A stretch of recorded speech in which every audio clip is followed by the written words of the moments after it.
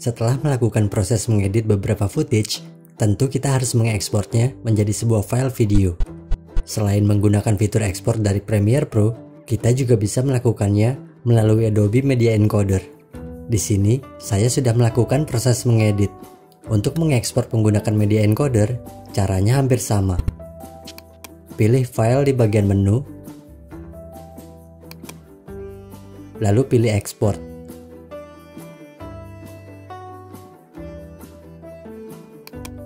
Kemudian pilih media atau kita bisa menggunakan shortcut Ctrl M. Saat masuk dalam pengaturan ekspor, lakukan setelan seperti biasanya.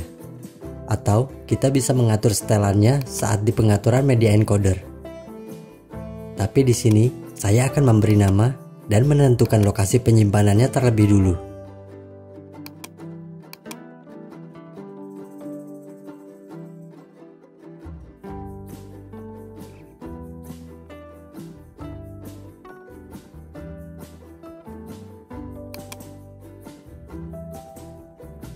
Jika sudah, lalu pilih Q.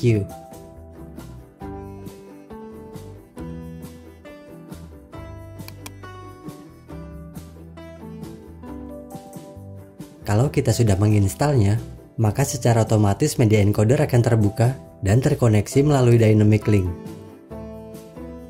Perlu dicatat, Premiere Pro dan media encoder akan terkoneksi kalau versinya sama. Dalam laptop ini, saya menggunakan Premiere Pro CC 2018, maka media encodernya juga harus versi CC 2018.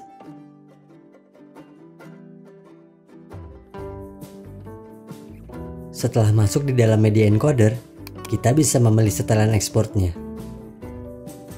Di sini, saya memilih preset yang telah saya custom di Premiere Pro.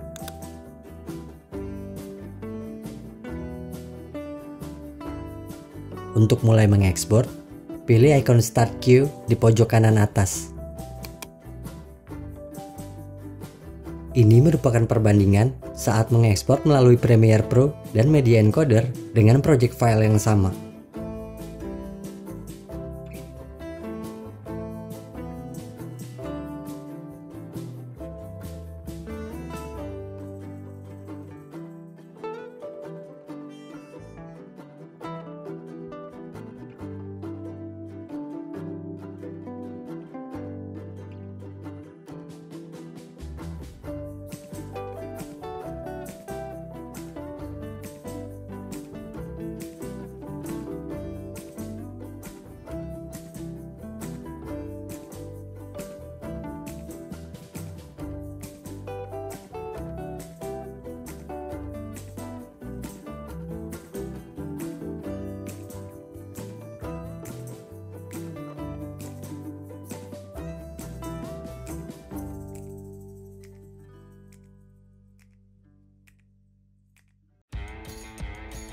Kalau dilihat, proses ekspor melalui media encoder selesai lebih dulu.